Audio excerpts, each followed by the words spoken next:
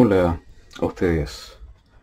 Quiero presentarles un proyecto que he desarrollado durante los últimos años, casi, casi cuatro años fotografiando y está listo desde hace un, par de años. La idea de completar la diagramación del libro y bueno, acá tenemos la maqueta. Eh, esta es una observación desde un habitante nuevo de, nuevo entre comillas, de, de la ciudad de Valparaíso, el viejo Alimapú, el ancestral Alimapú.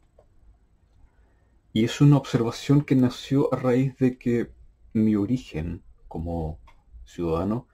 es en el sur del país y allá las condiciones en que habitamos la ciudad es muy distinta de la que vemos acá, de la que yo he podido observar o la que yo observé acá en, en la ciudad y que podemos ir viendo, y que está plasmada en este libro y que podemos ir viendo capítulo a capítulo. Primero, he planteado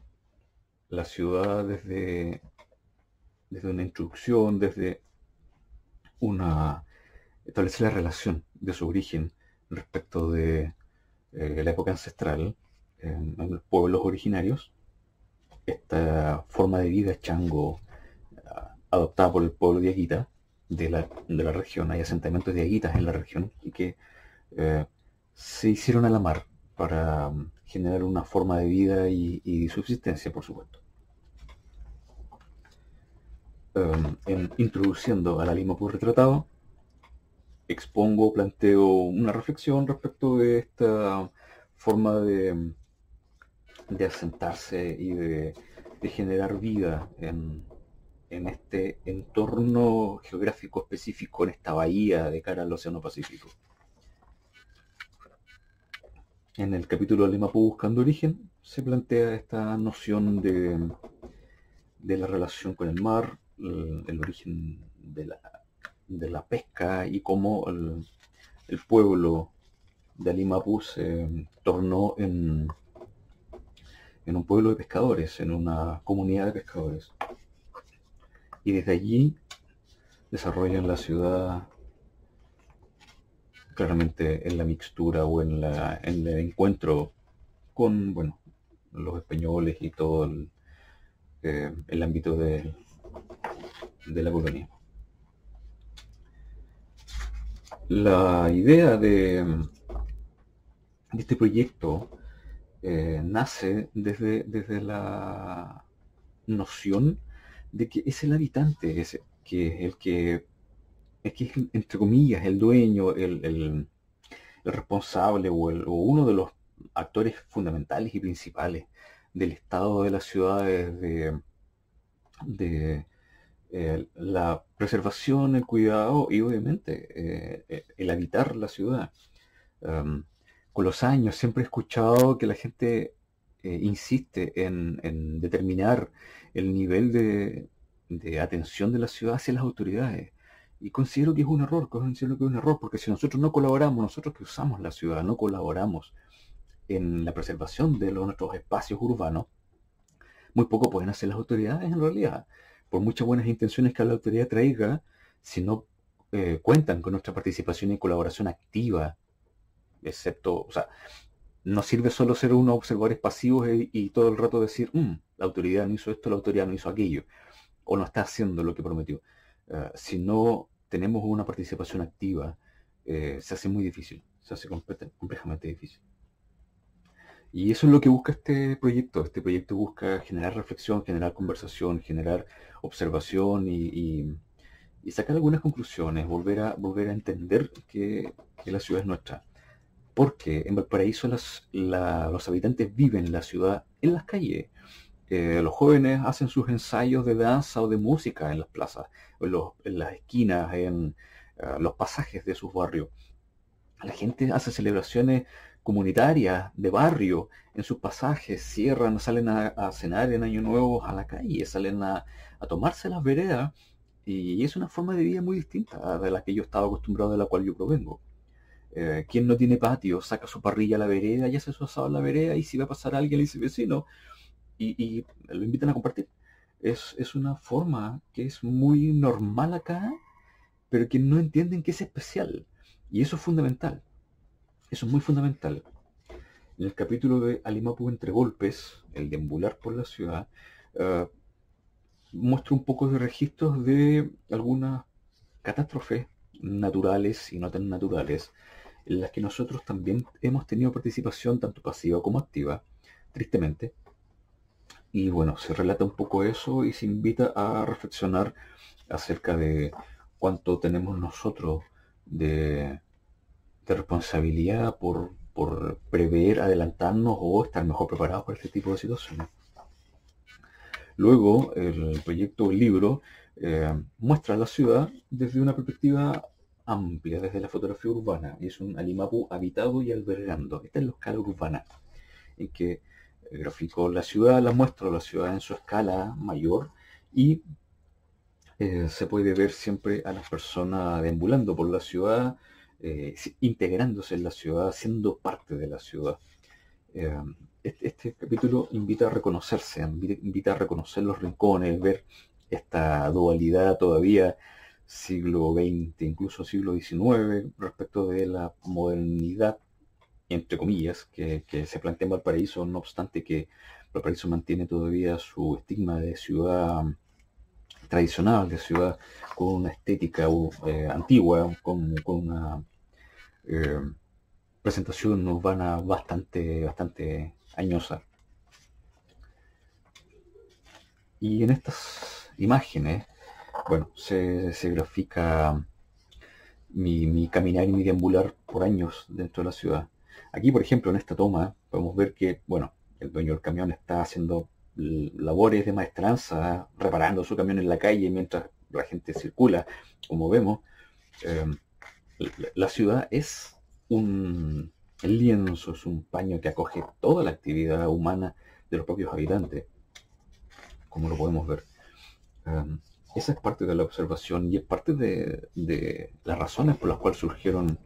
estas reflexiones, que no son nuevas. Uh, a punto de terminar este material hace ya unos años, mm, conocí un libro de el, uh, académico Michael Jones, también dedicado a la fotografía, académico de la Universidad Playa Ancha, que él editó hacia finales de los 80 un libro que se llama, una publicación que se llama Valparaíso, que es desde los 70 hacia finales de los 80. Y hay algunas imágenes que coinciden eh, con 30 años de diferencia y establecen las mismas reflexiones. Es impresionante que para él, que también de familia foránea, él nació acá, pero él de familia extranjera, eh, un migrante en ese sentido, eh, le surgieron las mismas inquietudes que me surgieron a mí,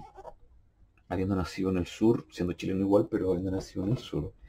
Al pisar la quinta región, al pisar la ciudad del paraíso, a ambos nos surgieron las mismas interrogantes respecto de la forma de habitar la ciudad.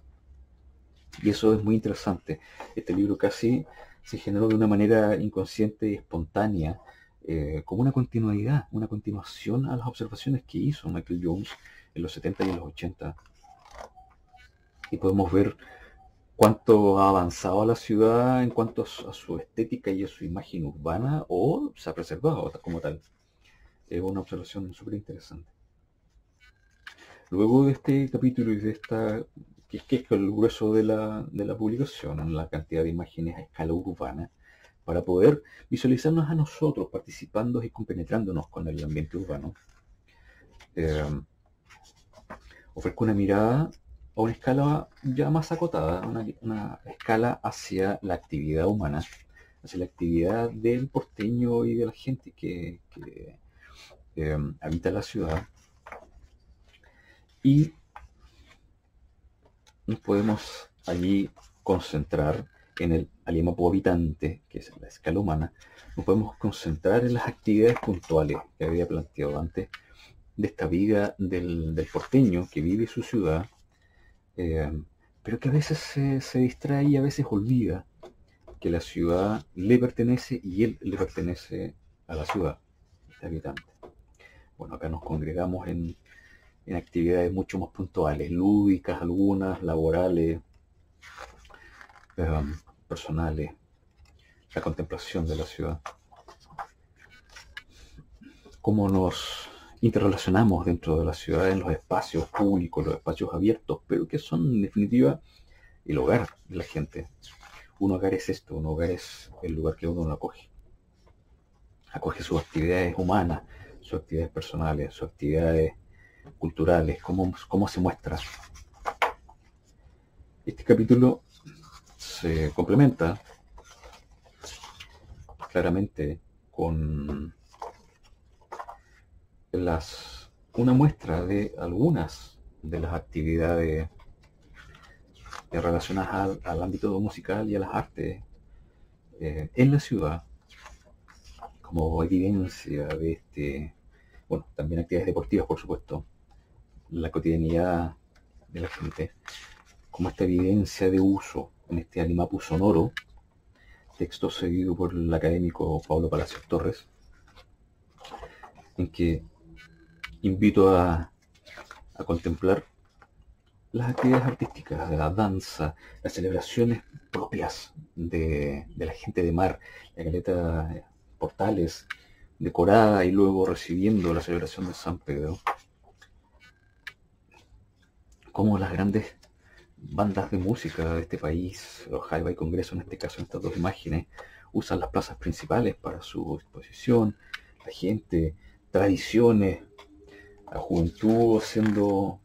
acto de presencia en las calles, ensayos de batucada, festivales comunitarios, el, Festival de la Cata del Pan Batido, que es inmensamente idiosincrático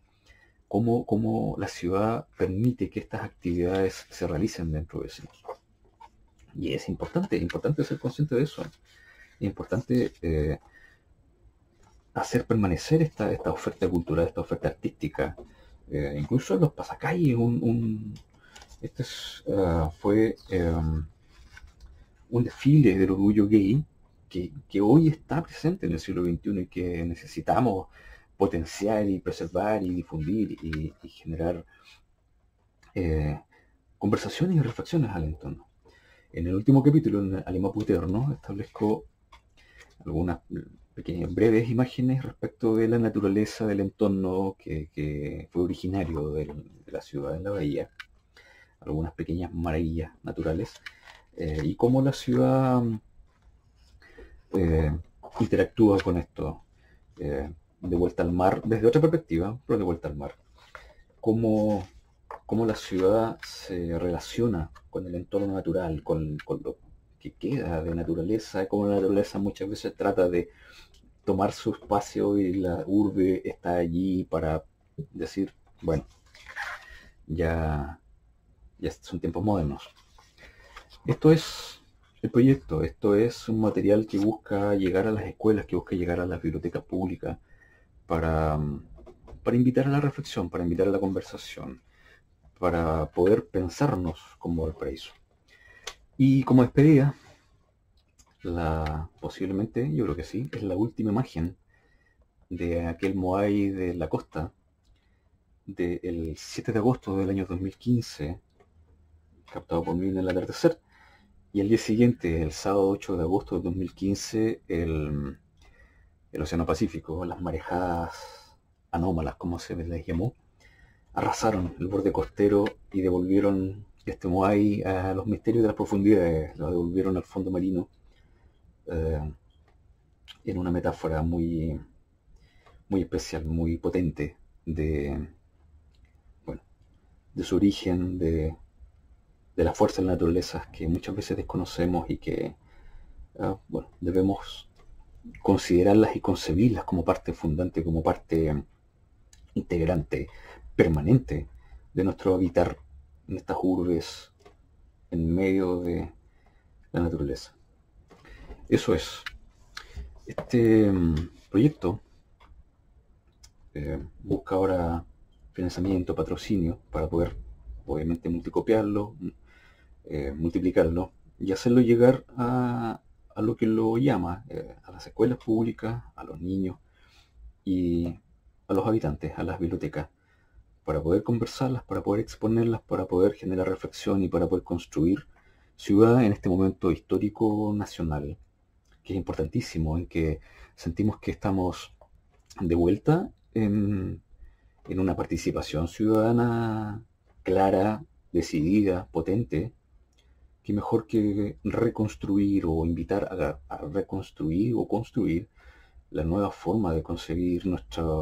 nuestra ciudadanía, nuestro rol de habitantes dentro de los espacios que hemos construido para que nos cobijen y nos alberguen. Eh, esto es, espero, espero poder hacerlo llegar a la calle masivamente y bueno, agradezco su atención y que puedan ayudar a difundirlo. Hasta pronto.